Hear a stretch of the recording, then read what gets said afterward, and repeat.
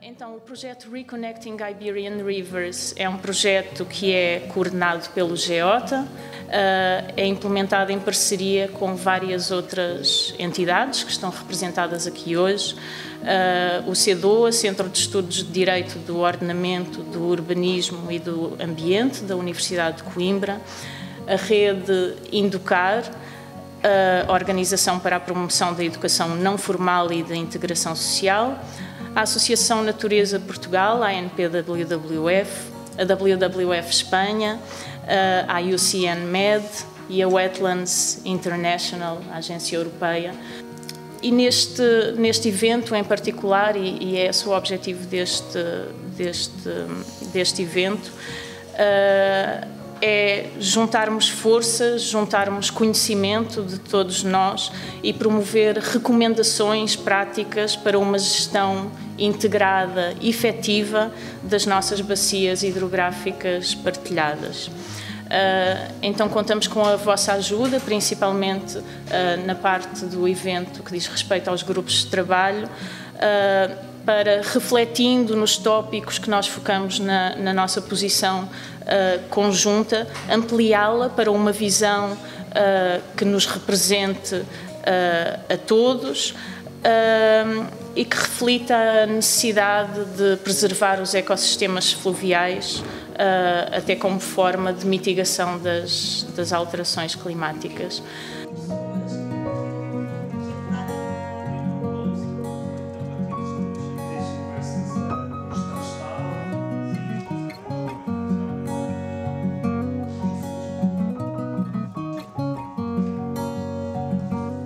Nosso grupo era. Nós focámos na, na parte do papel social e levar o rio às pessoas, basicamente, e temos dois, dois grandes tópicos de, de recomendações. Um é a clareza e a transparência na comunicação para a sociedade, para a população em geral.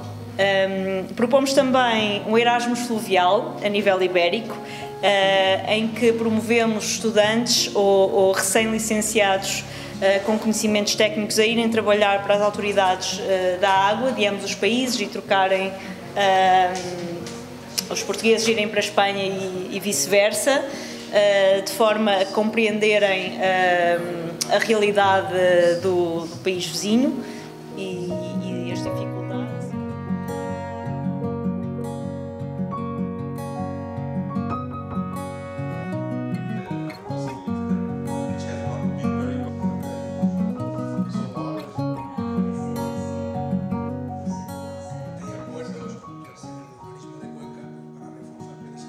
Pediram-me para reportar aqui sobre o tópico do, uh, do restauro do, uh, dos ecossistemas. Uh, este conceito de restauro pode incluir outros conceitos como a reabilitação e a renaturalização, mas o que é importante aqui é vamos melhorar a biodiversidade e vamos também potenciar usos humanos desse ecossistema.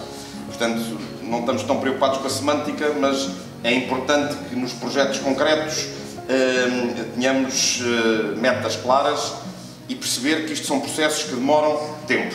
Portanto, podemos ter metas daqui a dois anos, daqui a cinco, daqui a dez. Portanto, não são processos instantâneos.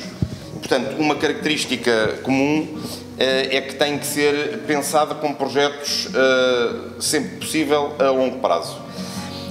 Alguns critérios concretos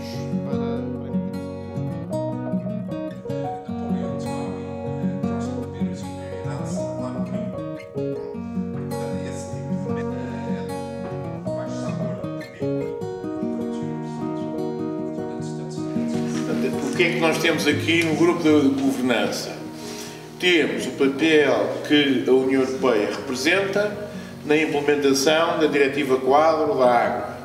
Uh, atendemos aqui aos aspectos relativos aos caudais ecológicos. Os caudais ecológicos têm que ser pensados exatamente naquilo que uh, é a exigência dos ecossistemas e não uh, em lutas de quantidade de água a mais ou a menos que um país e outro degladiam nas negociações. Qualidade da água, como é evidente, porquê? Porque muitas vezes a água que vem de montante para jusante não vem com a qualidade necessária.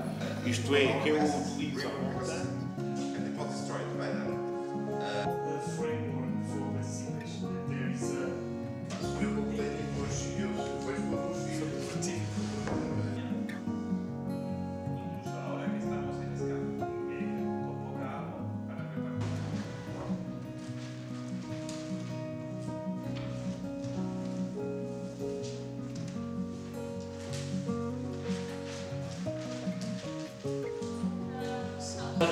Digam, digam qualquer coisa, boa tarde.